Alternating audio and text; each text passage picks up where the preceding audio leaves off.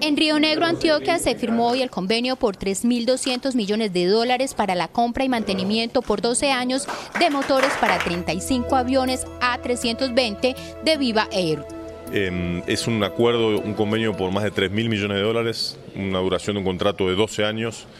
y son los motores eh, que se llaman LIP 1A es el motor probablemente más confiable, más moderno que existe para los aviones Airbus 320 Neo. La compañía de vuelos de bajo costo quiere aumentar el 15% que tiene en el mercado colombiano, con una propuesta segura, amigable con el ambiente y que ahorra el 15% de combustible.